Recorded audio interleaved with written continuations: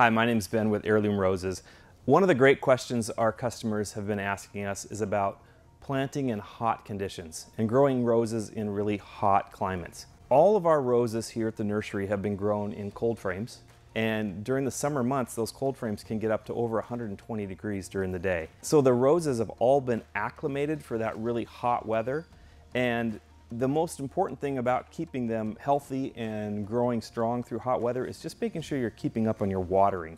We'll post a link here in the video for our how to water roses correctly video. That'd be a great one to watch. It'll give you more information in detail about the time of day to water and how much water roses need. I would say that sometimes during hot weather you can actually give your rose too much water.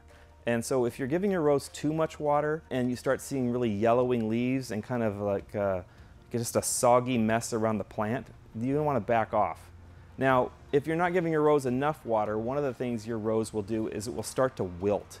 And as soon as you start to see those leaves kind of start to like crumble down, not completely dry out, but just getting soft, give your rose a good drink of water and it will perk right back to life.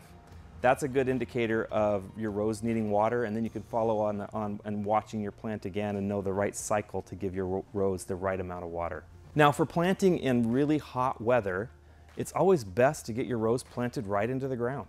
The ground temperature is going to be cooler almost always than the outside air temperature and your rose will acclimate during this time and really do well. Again, just keep up with the water and liquid fertilizer and you'll be off to a great start with your roses. For more information about growing roses and to find beautiful roses for your garden, visit us at heirloomroses.com.